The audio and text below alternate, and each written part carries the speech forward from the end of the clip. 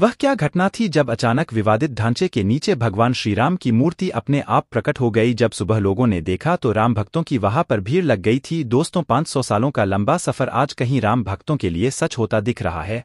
लेकिन आखिर भगवान राम का मंदिर मुगलों ने क्यों तोड़ दिया था? वो क्या घटना थी जब आज से करीब चार सौ बानवे साल पहले साल 1528 में बाबर की सेना अयोध्या पहुँचती है? कहा जाता है कि तभी बाबर के सेनापति मीर बांकी ने उस मंदिर को तुड़वाया जिस पर करोड़ों हिंदुओं की आस्था टिक।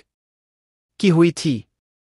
और उसकी जगह मस्जिद बना दी गई। आखिर 1528 से पहले वहाँ पर भगवान श्रीराम का कैसा मंदिर हुआ करता था, उसके बाद कैसे एक लंबी लड़ाई शुरू होती है, जो 500 साल बाद आज जाकर जीत में बदल रही है, यह 500 सालों का संघर्ष आखिर कैसे तय किया गया, इनमें आखिर क्या क्या घटनाएँ हुई, आज राम मंदिर के इतिहास के बारे में पूरा डिटेल में जान लेंगे। वीडियो शुरू करने से पहले कमेंट में जय श्री राम ज़रूर लिखें, दोस्तों अयोध्या के अंदर भगवान श्रीराम का मंदिर बनकर तैयार हो चुका है।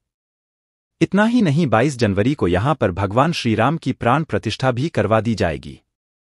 ये वो राम मंदिर है, जिसको बनते हुए देखना करोड़ों भारतीयों का एक सपना था क्योंकि इसी जगह पर भगवान श्रीराम का जन्म हुआ था और इसे पाने के लिए लगातार 500 सालों तक संघर्ष करना पड़ा। इनमें से कई लोग तो ऐसे थे जिन्होंने पूरी ज़िंदगी कोर्ट कचहरी में लड़ाई लड़ते गुजार दी। इतना भी आसान नहीं था राम मंदिर के बनने का ये सफ़र। अब चलिए थोड़ा इतिहास में पीछे चलते हैं और शुरुआत से इस मुद्दे को डिटेल में आपको बताते हैं। पंद्रह अट्ठाईस के बाद क्या हुआ, ये तो सब लोग जानते हैं। उससे पहले आखिर क्या हुआ था, उसके बारे में बहुत कम लोगों को पता है, कहा जाता है कि उस समय अयोध्या पर सूर्यवंशियों का आज कई वर्षों तक रहा था और यहीं पर श्रीराम का जन्म राजा दशरथ के मेहेल में हुआ।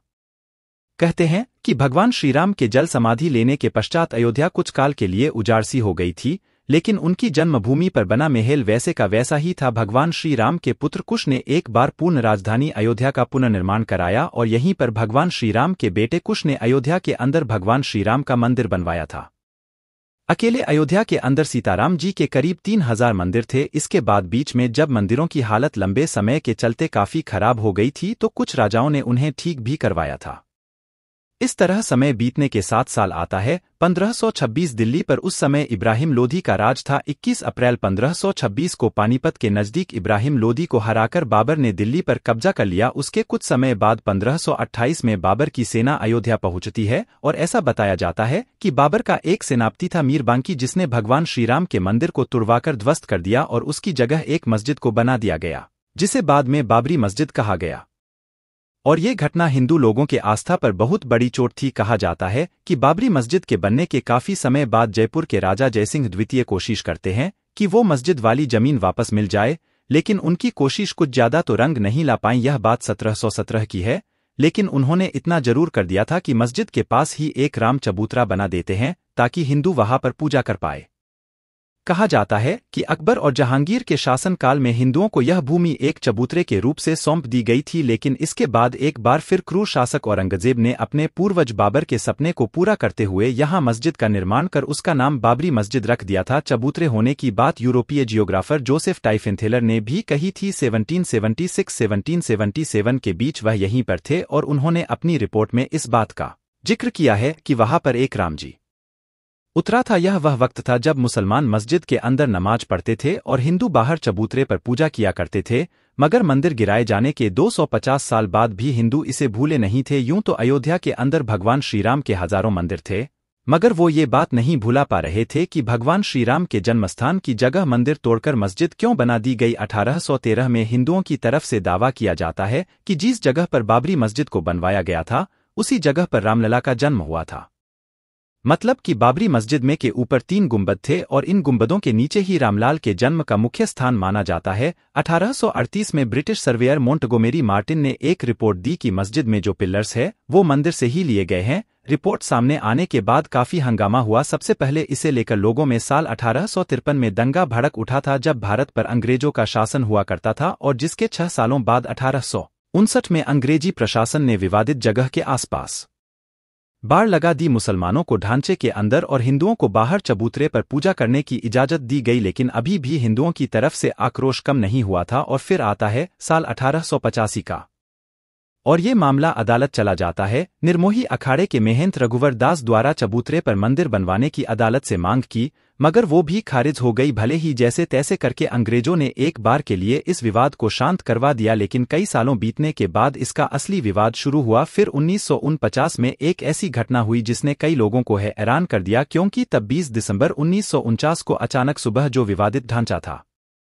उसके अंदर भगवान श्रीराम की एक मूर्ति मिली हिंदू पक्ष का दावा था कि यह मूर्ति अपने आप वहाँ पर प्रकट हुई थी, जबकि मुसलमानों ने आरोप लगाया कि किसी ने रात में चुपचाप मूर्तियाँ वहाँ रख दी जब यह बात बार फैली तो दोनों पक्षों के लोग वहाँ पर बड़ी तादाद में पहुँचने लगे। जब विवाद ज़्यादा हुआ तो यूपी सरकार ने मूर्तियाँ हटाने का आदेश दिया। लेकिन जिला मजिस्ट्रेट के के नायर ने दंगों और हिंदुओं की भावनाओं के भड़कने के डर से इस आदेश को पूरा करने में असमर्थता जताई। क्योंकि उन्होंने गवर्नमेंट से कह दिया कि अगर मूर्ति हटाई गई तो यहाँ पर इतनी ज़्यादा भीड़ है, वह बेकाबू हो सकती है। सरकार ने इसे विवादित ढांचा मानकर ताला लगवा दिया लेकिन फिर भी हिंदू और मुसलमानों में आक्रोश शांत नहीं हुआ। साल 1950 में फैजाबाद सिविल कोर्ट में दो अर्जी दाखिल की गई।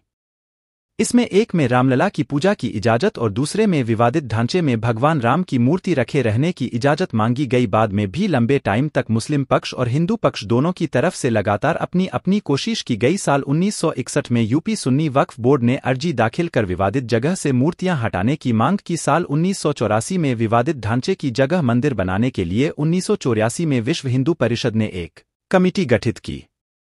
और इसी के दो साल बाद साल उन्नीस सौ छियासी यूसी पांडे की याचिका पर फैजाबाद के जिला जज के एम पांडे ने 1 फरवरी उन्नीस सौ छियासी को हिंदुओं को पूजा करने की इजाज़त देते हुए ढांचे पर से ताला हटाने का आदेश दिया, फिर वो दिन आता है, जिस दिन बहुत बड़ी घटना होती है 6 दिसंबर उन्नीस सौ बानवे को लाखों कारसेवक अयोध्या पहुँच जाते हैं। इतने सारे लोग पहुँचने से वही हुआ जिसका लोगों को डर था। लोग एक ग्यारह बजकर पचास मिनट पर गुंबद पर चढ़े और करीब साढ़े चार बजे तक तीनों ढांचे गिरा दिए। इस घटना के कुछ ही टाइम बाद यूपी में राष्ट्रपति शासन लगा दिया गया, जिसके बाद देशभर में सांप्रदायिक दंगे भड़के गए। पूरा देश दंगों की आग में झुलस उठा, जिसमें 2000 से ज़्यादा लोग मारे गए। कितने ही लोग घायल हो गए, लड़ाई इतनी बढ़ गई कि साल 2002 में हिंदू कार्यकर्ताओं को लेकर जा रही ट्रेन में गोधरा में आग लगा दी गई। जिसमें अट्ठावन लोगों की मौत हो गई, इसकी वजह से गुजरात में हुए दंगे में 2000 से ज़्यादा लोग मारे गए, मगर 1990 के दशक में जब केंद्र में दोबारा भाजपा आई तो फिर से दोबारा हिंदू संगठन राम मंदिर आंदोलन को लेकर सक्रिय हो गए। फिर देश में चल रहे सभी मामलों को एक जगह लाया गया। बाद में इस मामले की जाँच के लिए आर्कियोलॉजिकल सर्वे ऑफ़ इंडिया को कहा गया ताकि यह पता चल सके कि उसे मस्जिद के नीचे आखिर पहले क्या था। एएसआई ने अपनी रिपोर्ट में कहा कि जिस जगह यह विवादित ढांचा था, उसके नीचे मिले अवशेषों से यह बात साबित होती है। वहाँ पहले हिंदू मंदिर था और ये सरकार के सामने और कोर्ट के सामने सबसे बड़ा साइंटिफिक प्रूफ था कि वाकई में उस विवादित जगह के नीचे भगवान श्रीराम का पहले मंदिर था साल 2010 में इलाहाबाद हाईकोर्ट ने अपने फैसले में विवादित स्थल को सुन्नी वक्फ बोर्ड, रामलला विराजमान और निर्मोही अखाड़ा के बीच तीन बराबर बराबर हिस्सों में बांटने का आदेश दिया लेकिन साल 2011 में सुप्रीम कोर्ट ने अयोध्या विवाद पर इलाहाबाद हाईकोर्ट के फैसले पर रोक लगा दी। लंबी सुनवाई के बाद 9 नवंबर 2019 को सुप्रीम कोर्ट के पाँच जजों की बेंच ने राम मंदिर के पक्ष में फैसला सुनाया, जिसमें 2.77 एकड़ विवादित ज़मीन हिंदू पक्ष को मिली लेकिन इसी के साथ मस्जिद के लिए अलग से पाँच एकड़ ज़मीन मुहैया कराने का आदेश दिया गया और आखिरकार वो वक्त आ ही गया जब 5 अगस्त 2020 को राम मंदिर का भूमि पूजन कार्यक्रम किया गया और अब वह दिन भी आ गया है जब मंदिर पूरी तरह से बंद कर तैयार हो चुका है। और 22 जनवरी को उसकी प्राण प्रतिष्ठा होनी है। कितने लंबे संघर्ष के बाद भगवान श्रीराम का मंदिर बनवाया है। कितने ही लोगों ने इसके अंदर अपनी जान गंवाई, लेकिन आखिर में सत्य की जीत हुई, आप इसको लेकर क्या सोचते हैं? अपनी राय कमेंट में ज़रूर दें।